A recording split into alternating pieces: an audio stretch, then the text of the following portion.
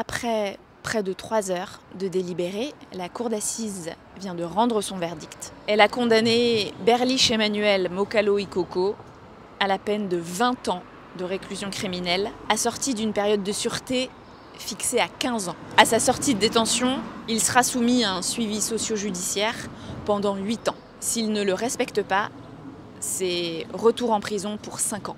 Pour asseoir son verdict, la présidente de la cour d'assises a rappelé la gravité des faits, les atteintes répétées, le contexte, notamment la répétition des viols, les conséquences traumatiques que les faits ont eues et ont encore sur la victime, l'absence de réflexion du jeune homme, ses antécédents judiciaires.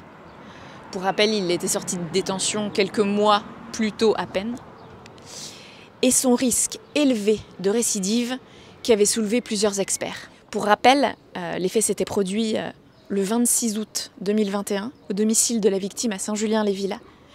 Elle avait été réveillée euh, en pleine nuit par un bruit de fenêtre qui claque. Elle avait pensé avoir mal fermé l'une des ouvertures. Et lorsqu'elle descend, elle tombe nez à nez avec Berlich Emmanuel Mokalo Ikoko, qui s'introduit à son domicile à l'aide d'un tournevis, euh, la vole, la viole à plusieurs reprises dans différentes pièces de la maison, avant de l'attacher au lit, de la bâillonner, de la braquer avec une arme de poing et de disparaître. À l'énoncé du verdict, Berlich Emmanuel Mokalo Ikoko s'est pris la tête dans les mains. Il pleurait.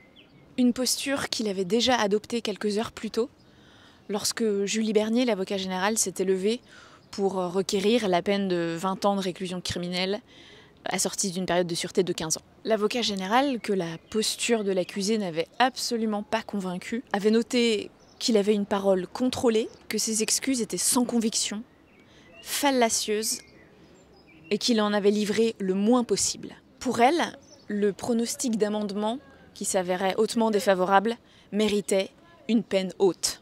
Pour l'expert psychiatre qui avait réalisé la contre-expertise de l'accusé, deux facteurs favorables, il n'y en avait qu'un seul, l'absence de maladie mentale grave.